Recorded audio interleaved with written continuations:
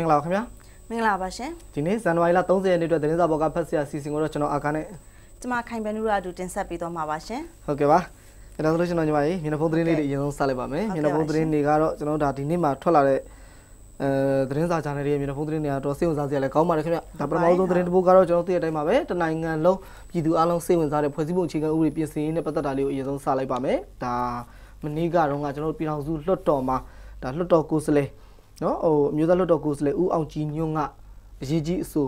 တင်လိုက်တာပါခင်ဗျာဒါကတော့ဖွဲ့စည်းပုံအခြေခံဥပဒေပြင်ဆင်ရေးပူးပေါင်းကော်မတီဖွဲ့စည်းဖို့အဆိုပါခင်ဗျဒီအဆိုကိုတော့တက်မတော်သားလွတ်တော်ကိုယ်စားလှယ်တွေကတော့ဒါမတရက်ကန့်ကွက်တာတွေရှိပေမဲ့လေဒါမဲခွဲဆုံးဖြတ်ပြီးတော့ဒါအဆိုကိုဒါဆက်လက်ဆွေးနွေးဖို့အတွက်လွတ်တော်မှာ အတီးပြုတ်လိုက်ပါတယ်ခင်ဗျဟုတ်ကဲ့ပါဒီထဲမှာမှထူးဆန်းအနေနဲ့ပေါ့နော်ဒီမင်းကင်းကလွတ်တော်ကိုယ်စားလှယ်တယောက်ကလည်းဒီဆိုကိုထပြီးတော့ကန့်ကွက်တာကိုတွေ့လိုက်ရတယ်နော်ဟုတ်ကဲ့ပါခင်ဗျဒါဖွဲ့စည်းပုံအခြေခံဥပဒေပြင်ဆင်ဆိုတာကတော့လက်ရှိအစိုးရကျွန်တော်ဒါမတက်ခင်ကလေးကတောက်လျှောက်ကြွေးကြော်ခဲ့တဲ့နော်ဟုတ်ကဲ့ဒါအချက်တစ်ခုလည်းဖြစ်ပါတယ်ခင်ဗျသူတို့ရဲ့ဒါဟိုရွေးကောက်ပွဲကြီးညာစရမ်းမှာလည်းဒါတွေကပါဝင်ပါတယ်ဟုတ်ကဲ့ပါဒါတော့နိုင်ငံလုံးစိတ်ဝင်စားနေတဲ့အခြေအနေတစ်ခုပါဗျာနောက်ထပ်တစ်ခုကလည်းဒါအားလုံးနဲ့ပတ်သက်တဲ့အားလုံးလည်းစိတ်ဝင်စားမဲ့အကြောင်းအရာတစ်ခုပါမခိုင်ပန်လူကြီးကျွန်တော်တို့ဒါအခု မြစ်ဆုံစီမံကိန်းကအခုကျွန်တော်ပြီးခဲ့တဲ့ရက်ပိုင်းလောက်ဒီကမှစပြီးတော့ပြန်လုပ်မယ်ဆိုတဲ့အတန်တွေစက်တိုက်တွေထွက်လာတယ်ဟိုဆန္ဒဖော်ထုတ်တာတွေကလည်းကျွန်တော်တို့ရန်ကုန်ပဲခူးစသဖြင့်နေရာတော်တော်များများမှာဒါတွေကဖြစ်လာတယ်ဒါနဲ့ပတ်သက်ပြီးတော့လည်းကျွန်တော်တို့ဒါပြည်တော်စုဝင်ကြီးဦးတောင်ထွန်းပေါ့နော်သူပြောထားတဲ့တခုကိုဒါတင်ထားတဲ့ဒီနေ့ထွက်လာတဲ့ကျွန်တော်သတင်းစာဂျာနယ်တချို့မှာတင်ထားပါတယ်ကျွန်တော်ယူထားတာတော့ဒါ7 day ရဲ့မျက်နှာဖုံးပါပါမြစ်ဆုံရဲလက်စစ်စီမံကိန်းနဲ့အရွယ်အစားနဲ့နေရာပြောင်းလဲဖို့ တရုတ်နိုင်ငံနဲ့ညှိနှိုင်းနေဆိုပြီးတော့ဒါဝင်ကြီးဦးတောင်ထွန်းပြောဆိုပြီးတော့ဒါရေးထားတာပါဒါပြည်သူတွေရဲ့စိုးရိမ်ပူပန်မှုကိုတဲ့အစိုးရ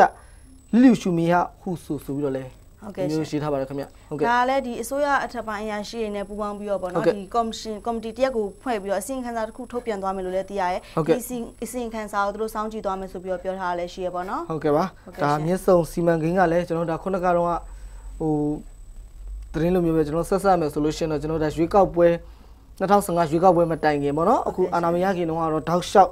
ကန့်ကွက်ခဲ့တဲ့စီမံကိန်းတစ်ခုလည်းဖြစ်ပါတယ်အခုချိန်မှာတော့ဒီအခုဝင်ကြီးပြည်တော်စုဝင်ကြီးရဲ့ပြောဆိုပုံအရဆိုလို့ရှိရင်တော့လောက်တော့လုံးမဲ့အနေထားတော့ဖြစ်နေပြီပေါ့ဗျာဟုတ်ကဲ့ပါနေပေါ့နော်ဟုတ်ကဲ့ပါခင်ဗျ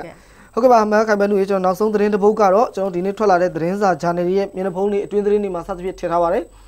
သတင်းလေးကတော့ကျွန်တော်တို့ဒါအဂရိလိုက်စားမှုနဲ့ပတ်သက်တဲ့သတင်းလေးတစ်ခုပါပဲခင်ဗျဒါကျွဲဝယ်လာတဲ့လယ်သမားတူထံကနေပြီးတော့တဲ့ငွေတောင်းတဲ့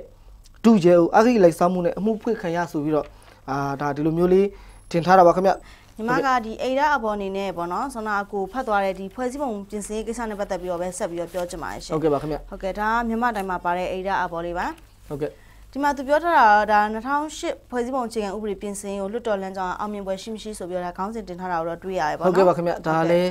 ပြည်သူတွေအခုချိန်မှာမနေ့ကတော့စပြီးတော့အစိုးတင်လိုက်ပြီဆိုကြတဲ့ဟုတ်ဒီကဲ့ရှင် ဒီကိစ္စလေးကိုစိတ်ဝင်စားနေပါပြီလွတ်တော်ကနေဟုတ်ပါတယ်အောင်မြင်မှာလားဒါမှမဟုတ်ကျွန်တော်အရင်တုန်းက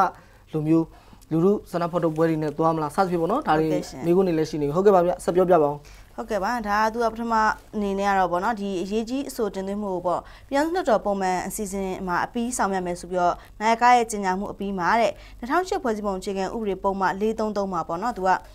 ဖွဲ့စည်းပုံအခြေခံဥပဒေကိုပြင်ဆင်ရန်တင်သွင်းသောအဆိုကိုဥပဒေမူကြမ်းအဖြစ်တင်သွင်းရမယ်ဆိုတဲ့ပြဋ္ဌာန်းချက်ကိုထောက်ပြထားတယ်ပေါ့နော်အဲ့ဒါကိုထောက်ပြပြီးတော့လုံထုံးလုံနည်းလွဲမှားတယ်ဆိုပြီးတော့ဒါတက်မတော်သားကိုယ်စားလှယ်တွေကကန့်ကွက်ပြောဆိုခဲ့တာဖြစ်တယ်တဲ့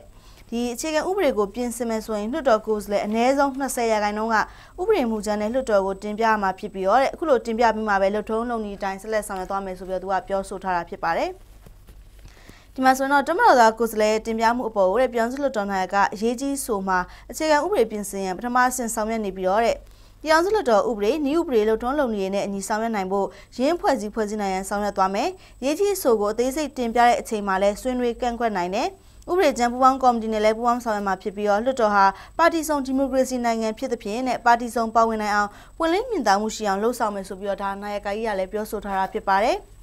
တမတာကိုစလေကတဲ့အရေးကြီးဆိုမှာတတ်မှတ်ချက်တွေရှိနေပြီးတော့အမှန်တကယ်အရေးကြီးဆောင်ရွက်ရမယ့်ကိစ္စပြည်သူလူထုအတွက်အရေးကြီးဆောင်ရွက်ရန်လိုအပ်ပြီးတော့တခြားနည်းလမ်းမရှိတဲ့အခြေအနေမှသာဆောင်ရွက်ရမှာဖြစ်ကြောင်းတင်ပြတဲ့အခါမှာတဲ့ပြည်အောင်စုလွှတ်တော်နိုင်ကကတဲ့အရေးကြီးဆိုတင်သွင်းမဲ့ကိုယ်စားလှယ်တင်ပြချက်ကိုနားထောင်ရန်တိုက်တွန်းခဲ့ပြီးတဲ့နောက်တင်ပြရန်ရှိရာတွေကိုတင်ပြနိုင်တယ်လက်ရှိမှာတော့အခြေခံဥပဒေပြင်ဆင်ဆောင်ရွက်ရေးကိုပေါ့နော်မှန်ကန်ပေမဲ့လည်းဒီဥပဒေကိုတဆင့်ချင်းဆောင်ရွက်ဖို့ဒါပထမဆုံးအဆင့်ဆောင်ရွက်တာဖြစ်တယ်လို့ပဲပြောထားတာကိုတွေ့ရတယ်မှန်ပါတယ်ခင်ဗျဟုတ်ကဲ့ပါဟုတ်ကဲ့ရှင် ဒီအားလုံးပေါ့နော်မဲပေးရဲ့အခါမှာလဲမဲပေးဝင်ရှိသူကိုယ်စားလှယ်600တဦးရှိတဲ့အနက်မှာတဲ့ထောက်ခံမဲကတော့394မဲပေါ့နော်ကန့်ကွက်မဲ18မဲဂျားနေမဲ3မဲရှိခဲ့ပြီးတော့ဒီအရေးကြီးဆိုကိုလက်ခံဆွေးနွေးဖို့အောင်မြင်လိုအပ်တဲ့မဲဆန္ဒအရေးအတွက်ကို3ပုံတစ်ပုံထက်ကျော်လွန်နေတယ်ဆိုပြီးတော့လဲဒါပြောထားတာကိုတွေ့ရတယ်ဒီမှာအချို့အပြင်ပြောထားတာကတော့2008ဖွဲ့စည်းပုံအခြေခံဥပဒေပြင်ဆင်ရေးဟာပါတီအသီးသီးကပြည်သူတွေရွေးချယ်ထားတဲ့လွှတ်တော်ကိုယ်စားလှယ်နဲ့တမတော်သားလွှတ်တော်ကိုယ်စားလှယ်နဲ့စုဖွဲ့ထားတဲ့ လွှတ်တော်ကိုယ်စားလှယ်တွေရဲ့လွှတ်တော်တွင်းဆောင်ရွက်ချက်တွေကအဓိကဖြစ်ပြီးတော့တဲ့ပြည်သူတို့လိုလားတဲ့ဖွဲ့စည်းပုံပြင်ဆင်ရေးဟာလွှတ်တော်လမ်းကြောင်းတွင်းကနေအောင်မြင်ပွဲရှိမရှိဆိုတာကိုဒါသူကသုံးသပ်ပြီးရေးသားထားတာဖြစ်ပါတယ်ရှင်ကျွန်တော်ဒါမြို့သားလွှတ်တော်ကိုယ်စားလှယ်ဦးအောင်ကြည်ညွန့်ကရောဒီအဆိုနဲ့ပတ်သက်ပြီးသူဗာပြောထားတာရှိမလဲအဲ့ဒါလေးကိုလည်းကျွန်တော်ဒီသူတို့ရဲ့ပြောစကားလေးတွေလည်းကျွန်တော်ဆက်ပြီးတော့သတင်းလေးနဲ့ဖော်ပြချင်ပါတယ်ခင်ဗျဒါ daily 11ရဲ့ seminar 2နဲ့3မှာဖော်ပြထားတဲ့သတင်းလေးပေါ့နော်ဒါတော့ခုနကကျွန်တော်တို့ ဟိုအဆိုကိုတမတော်သားတွေကကန်ကွက်တယ်ဒါပေမဲ့မဲခွဲပြီးတော့အတီးပြုတ်လိုက်တယ်ဆိုပြီးတော့ပဲခေါင်းစဉ်တင်ထားပါတယ်ဒီထဲမှာမှအဆိုတင်ခဲ့တဲ့ကျွန်တော်တို့အမျိုးသားလွှတ်တော်ကိုယ်စားလှယ်ဦးအောင်ကြည်ညွန့်ကပြောထားတာကတော့လက်ရှိမြန်မာနိုင်ငံရဲ့အခြေအနေမှာတဲ့ဒါမြန်မာနိုင်ငံသားပြည်သူတွေပြည်သူတွေရဲ့အရေးကြီးသက်ဆိုင်တဲ့ကိစ္စလည်းဖြစ်ပြီးတော့ဒါပြည်ထောင်စုလွှတ်တော်ရဲ့ဆုံးဖြတ်ချက်ရယူဖို့လိုတဲ့ကိစ္စဖြစ်တဲ့အတွက်တင်သွင်းရခြင်းဖြစ်ပါတယ်တဲ့ဒါတင်သွင်းတဲ့အနေအထားဟာကျွန်တော်တို့အနေနဲ့2008ဖွဲ့စည်းပုံအခြေခံဥပဒေကိုလေ့လာသုံးသပ်လိုက်တဲ့အခါမှာဒီမိုကရေစီစံနှုန်းတွေနဲ့ညီညွတ်ခြင်းမရှိသေးတဲ့ ပြဋ္ဌာန်းချက်တွေနောက်တစ်ခါရှေ့နောက်ညီညွတ်ခြင်းမရှိတဲ့ကွဲလွဲဆန့်ကျင်နေတဲ့ပြဋ္ဌာန်းချက်တွေပြည်တွင်းငြိမ်းချမ်းရေးအတွက်မရှိမဖြစ်လိုအပ်တဲ့စစ်မှန်တဲ့ဒီမိုကရေစီပြည်ထောင်စုထူထောင်ရေးအတွက်ဒါအဟံအတားဖြစ်နေတဲ့ပြဋ္ဌာန်းချက်တွေပါတီစုံဒီမိုကရေစီစနစ်ကိုဖော်ဆောင်ရမှာအဟံအတားဖြစ်စေတဲ့ပြဋ္ဌာန်းချက်တွေနောက်တစ်ခါအပြန်အလှန်ထိန်းချောင်းရမယ့်ဒီမိုကရေစီမန်တိုင်း၃ရက်ကိုဒါတစ်ဖက်ဆောင်းနှင်းဖြစ်စေတဲ့ပြဋ္ဌာန်းချက်တွေနိုင်ငံသားတွေရဲ့ဒန်းတူညီမျှမှုကိုအကာအကွယ်ပေးနိုင်ခြင်းမရှိတဲ့ပြဋ္ဌာန်းချက်တွေနဲ့တဲ့ရွေးကောက်ပွဲတွေလွတ်လပ်ပြီးတော့တရားမျှတမှုကိုထိခိုက်စေနိုင်တဲ့ ပြဋ္ဌာန်းချက်တွေရှိနေသေးတာကိုလေးလာစီစစ်တွေ့ရှိရပါတယ်တဲ့ဒါ21ရာစုပင်လုံညီလာခံမှာထာဝရညီညွတ်ရေးတည်ဆောက်ဖို့အတွက်ဒီမိုကရေစီအခြေခံအုပ်မြစ်တွေဖြည့်ဆည်းပေးဖို့လိုအပ်ကြောင်းကိုလည်းဒါလေးလာတွေ့ရှိရပါတယ်အဲအမျိုးသားဒီမိုကရေစီအဖွဲ့ချုပ်အနေနဲ့ကတော့2008ဖွဲ့စည်းပုံအခြေခံဥပဒေနဲ့ဆက်လက်ပြီးပြည်သူလူထုရဲ့ဆန္ဒသဘောထားတွေကို2013ခုနှစ်ကဒါပြည်내တိုင်းဒေသကြီးအလုံးအပါဝင်မြို့နယ်ပေါင်း268မြို့မှာရယူခဲ့တော့ကတော့တဲ့ ဒါ69ရာခိုင်နှုန်းသောပြည်သူတွေကပြင်ဆင်ပြောင်းလဲလို့ကြောင့်ဆန္ဒပြုခဲ့ကြပါတယ်ဆိုပြီးတော့အဆိုရှင်ကဒီလိုမျိုးပြောထားပါတယ်ဟုတ်ကဲ့ရှင်ဒါအဆိုရှင်ကသူဘာကြောင့်တင်သွင်းရဆိုအကြောင်းပြပြထားတာပေါ့နော်ဟုတ်ကဲ့ပါဒါဘာတွေဘာတွေကတော့ဒီမှာခိနေမလျော်ညီဘူးဒီမိုကရေစီနဲ့မကိုက်ညီတော့ဘူးဆိုတာလေးတွေကိုသူကပြောပြထားတာပါအခုလွတ်တော်ကိုယ်စားလှယ်အားလုံးဟာဖွဲ့စည်းပုံအခြေခံဥပဒေပုံမှန်125ဇယားလေးမှာပါတဲ့အတိုင်းဒါဂရိသစ္စာပြုထားကြတဲ့သူတွေဖြစ်ပါတယ်ဖွဲ့စည်းပုံအခြေခံဥပဒေကိုထိမ့်သိမ်းကာကွယ်စောင့်ရှောက်ပါမယ် နိုင်ငံရေးဥပဒေများကိုလေးစားလိုက်နာပါမယ်ဆိုတဲ့ဂရိသစ္စာပြုထားသူတွေဖြစ်ပါတယ်ဒီလိုနိုင်ငံနိုင်ငံတော်ရဲ့ဥပဒေပြုရေးတောင်းကိုအထူးကလှုပ်ဆောင်တဲ့လွှတ်တော်ကိုယ်စားလှယ်တွေကမိမိရဲ့လှုပ်ဆောင်ချက်တွေကိုဥပဒေနဲ့အညီဆောင်ရွက်ဖို့အတွက်အများကြီးအရေးကြီးပါတယ်ဥပဒေကိုကြော်လွန်လှုပ်ဆောင်တာဥပဒေကိုလက်တလုံးချလှုပ်ပြီးတော့မှလှုပ်ဆောင်နေတယ်ဆိုရင်တော့ပေါ်ထွက်လာမယ့်အကျိုးရလဒ်တွေကမှန်ကန်ကောင်းမွန်မှာမဟုတ်ဘဲနဲ့အဂရိတရားနဲ့မကင်းတဲ့အကျိုးရလဒ်ဖြစ်မှာပါဆိုပြီးတော့သူကတော့ဒီလိုမျိုးသူတို့ကန့်ကွက်ရတဲ့အကြောင်းရင်း ဒါဥပဒေနဲ့မညီဘူးဆိုပြီးတော့သူတို့ကတော့ဒီလိုမျိုးကန့်ကွက်ထားတာရှိပါတယ်ခင်ဗျသူပြောချင်တာဒီဖွဲ့စည်းပုံအခြေခံဥပဒေကိုပေါ့နော်သူကကန့်ကွက်တာမျိုးမဟုတ်ဘဲနဲ့မှန်ပါတယ်ဗျဒီဥပဒေနဲ့မညီဆောင်ရွက်တဲ့ကိစ္စပေါ့နော်ဒါတွေကိုသူကကန့်ကွက်ခြင်းဖြစ်တယ်ဆိုပြီးတော့ထောက်ပြထားတာကိုတွေ့ရတယ်ဟုတ်ပါတယ်ခင်ဗျကျွန်တော်တို့ဒါလွတ်တော်ဒါဥပဒေတွေမှာပြဋ္ဌာန်းထားတဲ့အတိုင်းကျွန်တော်တို့ဒါပြည်သူ့လွတ်တော်မျိုးသားလွတ်တော်ဒီကနေပြီးတော့ကော်မတီဖွဲ့ပြီးတော့မှတဆင့်တဆင့်သွားဖို့ပေါ့နော်အခုလိုမျိုးပြည်တော်စုလွတ်တော်မှာဓာတ်ရိုက်တင်တာကတော့ဥပဒေနဲ့မညီပါဘူးဆိုပြီးတော့ဒါသူကတော့သူတို့ရဲ့ဒါဟိုယူဆချက်အတိုင်းပြောဆိုထားတာလည်းဖြစ်ပါတယ်ခင်ဗျ ဟုတ်ကဲ့ကိုဒါဒုတိယသတင်းတစ်ပုဒ်အနေနဲ့ဒါပေါ့နော်ဆောနာခေါင်းစဉ်နဲ့ဖတ်ပြခဲ့တဲ့သတင်းလေးကိုပဲညီမပြန်ပြီးဖတ်ပြချင်ပါတယ်ဒါကတော့အရေးကြီးတဲ့ကိစ္စတွေတခုလို့လည်းပြောလို့ရတယ်ပေါ့နော်မြင့်ဆုံကိစ္စလေးပါပဲဒါကတော့ဒီမှာခေါင်းစဉ်တင်ထားတာကတော့ဒါမြစ်ဆုံကြီးအားလျှက်စစ်စီမံကိန်းအရွယ်စားနဲ့နေရာပြောင်းလဲဖို့တရုတ်နိုင်ငံနဲ့ညှိနှိုင်းနေဆိုပြီးတော့ဝင်းကြီးဦးတောင်ထွန်းပြောတဲ့အကြောင်းခေါင်းစဉ်တင်ထားတာကိုတွေ့ရတယ်ဟုတ်ကဲ့ပါဟုတ်ကဲ့ရှင် မြစ်ဆုံရင်အားလျက်စစ်စီမံကိန်းကိုတဲ့အရွယ်အစားရဲ့နေရာပြောင်းလို့ဖို့တရုတ်နိုင်ငံနဲ့ညှိနှိုင်းနေရဆိုပြီးတော့ဒါရင်းနှီးမြှုပ်နှံမှုနဲ့နိုင်ငံခြားစီးပွားဆက်သွယ်ဝန်ကြီးဌာနပြည်ထောင်စုဝန်ကြီးဦးတောင်ထွန်းကပြောဆိုလိုက်တာပါ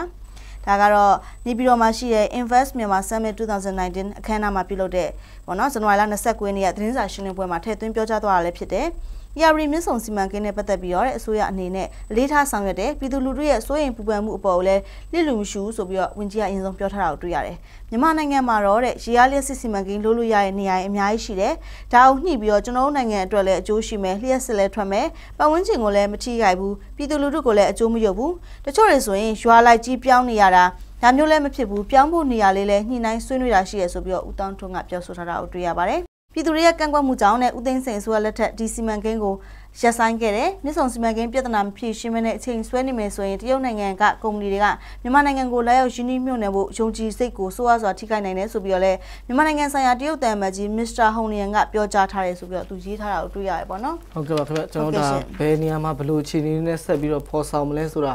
နော်ဟိုကောင်တယ်ဖော်မလဲပြည်သူတွေလက်ခံဘလို့လုပ်မလဲဆိုတာတော့ကျွန်တော်ဆက်ပြီးတော့ပဲ ကျွန်တော်စောင့်ကြပါဦးဗျာနော်ဒီလက်ရှိအစိုးရရဲ့ဆောင်ရွက်ချက်တွေကိုပေါ့ဟုတ်ကဲ့ပါမခမိုင်တို့ကျွန်တော်ဖွဲ့စည်းပုံအခြေခံဥပဒေပြင်ဆင်ရေးမြစ်ဆုံဒါတွေကလည်းတနိုင်ငံလုံးပြည်သူတွေစိတ်ဝင်စားတဲ့ကိစ္စတွေဖြစ်တယ်လို့မျိုးကျွန်တော်တို့ဒါဟိုကျွန်တော်နိုင်ငံရဲ့လူဦးရေရဲ့အများဆုံးရှိနေတဲ့တောင်သူလယ်သမားတွေနဲ့သက်ဆိုင်တဲ့ဒါကိစ္စလေးတစ်ခုကလည်းကျွန်တော်တို့ဒါမေ့ထားလို့လည်းမရပါဘူးကျွန်တော်တို့ဒီနိုင်ငံရေးနဲ့ပတ်သက်တဲ့အကြောင်းအရာတွေအရေးကြီးသလိုမျိုးစောင်းနေနဲ့ပတ်သက်တဲ့အကြောင်းအရာလည်းအရေးကြီးပါတယ်ခင်ဗျအခုဆိုရင်လည်းကျွန်တော်တို့ဒါလယ်ဒီလယ်ဒီမှာဆိုရင်လည်းကျွန်တော် စမားတွေကလည်းတော်တော်လေးထွက်နေပါပြီအခုမကြခင်မှာဆိုလို့ချင်းလဲဒါအစ်စ်တွေဆက်ဆက်စက်တိုက်စက်တိုက်ပေါ့နော်ကျွန်တော်တို့ထွက်လာတော့မှာပါဒါအခုဒီသတင်းလေးတစ်ခုကတော့ The Voice ရဲ့ seminar 6မှာဖော်ပြထားတဲ့သတင်းလေးတစ်ခုပါအခြေခံစဘာဈေးနှုန်းပြောင်းလဲသတ်မှတ်မယ်ဆိုပြီးတော့ဒါရေးသားထားတဲ့သတင်းလေးပါခင်ဗျဒါတောင်သူတွေစီကနေပြီးတော့တဲ့စဘာတင်းတရာကိုအနိုင်ဆုံးအဲဈေးပေးဝယ်ယူရမယ်အခြေခံစဘာဈေးနှုန်းကို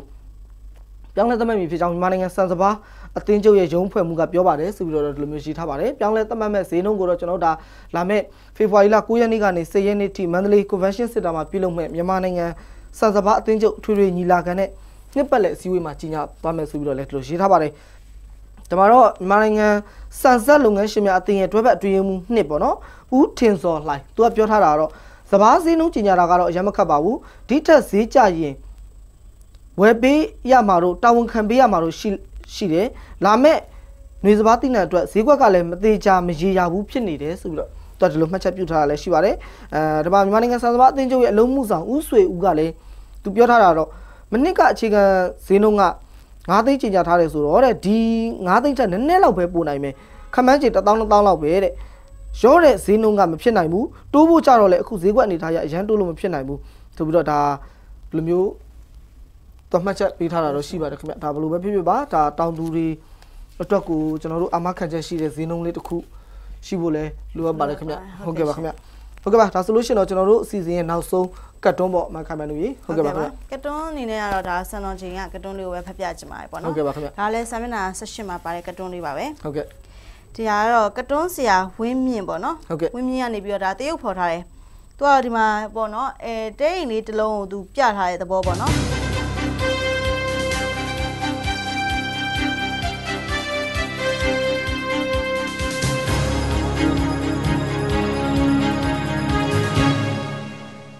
ဟုတ်ကဲ့ပါဒီကတ်တွန်းလေးနဲ့ပဲဒီနေ့ဇန်နဝါရီလ30ရက်နေ့မှာထွက်ရှိလာတဲ့သတင်းစာတွေ channel တွေကကောင်းတို့ရသတင်းတွေကိုထုံထုံဖတ်ကြားပေးတဲ့သတင်းစာပေါ်ကဖတ်စရာအစီအစဉ်တွေမှာပြီးဆုံးပြီဖြစ်ပါတယ် TVB ကိုအားပေးကြည့်ရှုနေသူအားလုံးကိုကျေးဇူးတင်ပါတယ်ခင်ဗျာကျေးဇူးတင်ပါတယ်ရှင်